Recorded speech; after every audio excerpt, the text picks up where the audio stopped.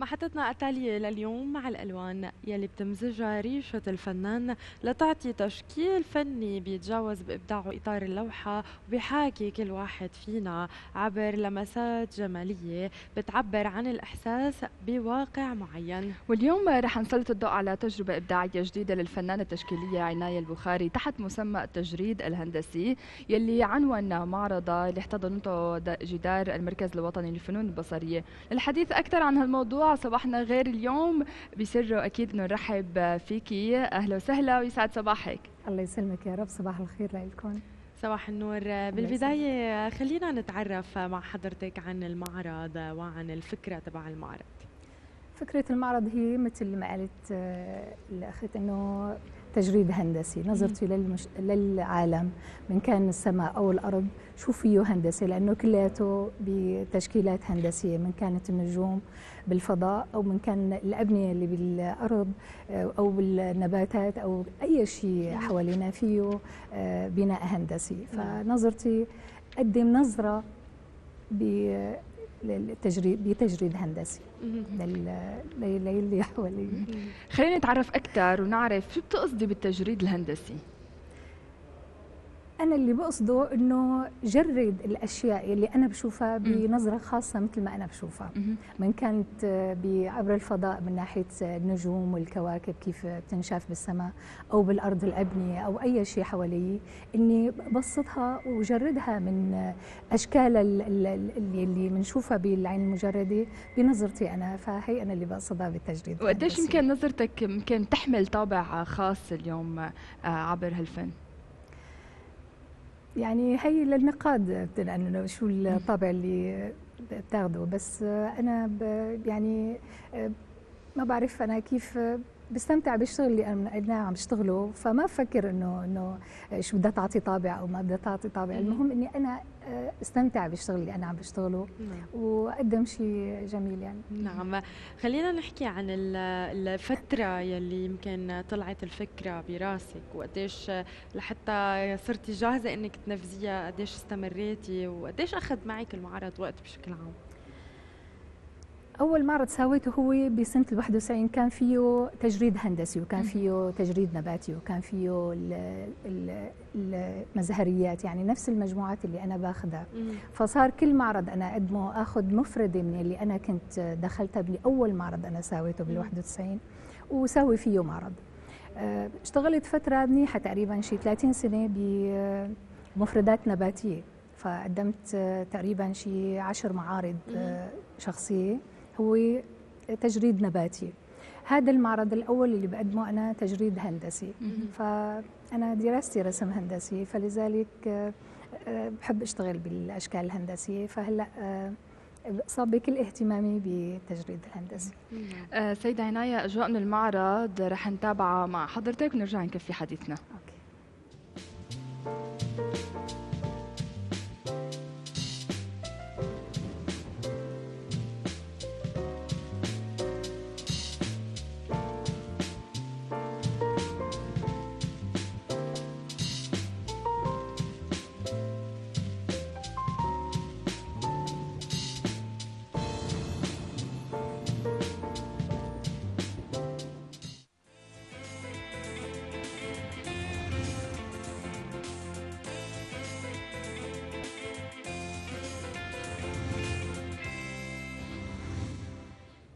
يعني من بعد ما تابعنا لقطات من المعرض.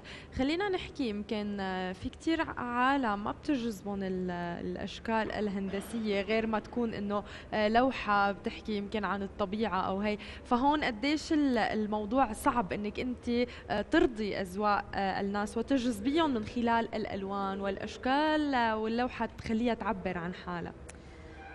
لك يعني ما بعرف أنا شو بدي أقول لك هون معلش تعيدي لي السؤال إذا بتريدي. الأش... اللوحات الأشكال الهندسية آه شو هي الطريقة الصحيحة؟ يعني بتلعبي بالألوان لحتى تجذبي الناس أكثر أو آه يمكن بي بيكون في تفاصيل محددة ل... ل... لجذب الزوار وجذب الناس ضمن هيدي اللوحات؟ عزيزتي أنا ما بفكر إنه لا اجذب مشاهد ولا إنه بفكر إنه كيف بدي إني أرضي إنه مثلا عن اعمالي فأنا نعم. بحب إني أشتغل رسم وبشتغل براحة يعني بشتغل أنا بوقتي إني أنا كيف بدي أشتغله.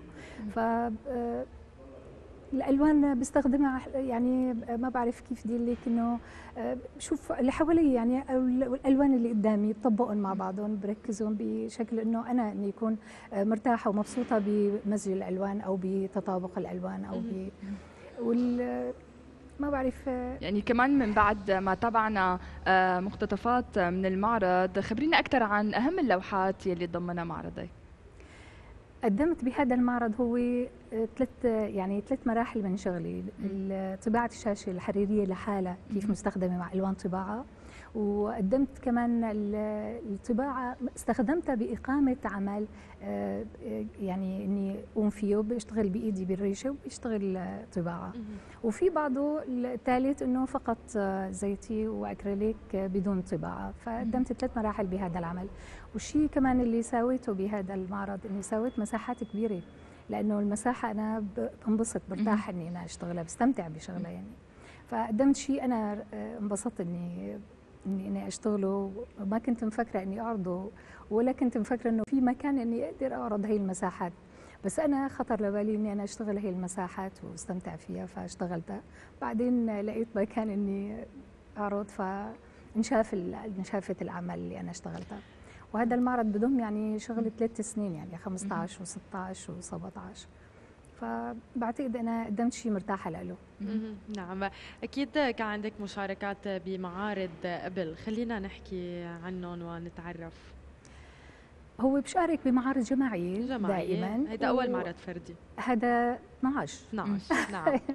فهذا رقم 12 المعرض أوكي. الفردي. فكان في مشاركات كمان بملتقى إهدين في ملتقى بالقلعة مؤخرا.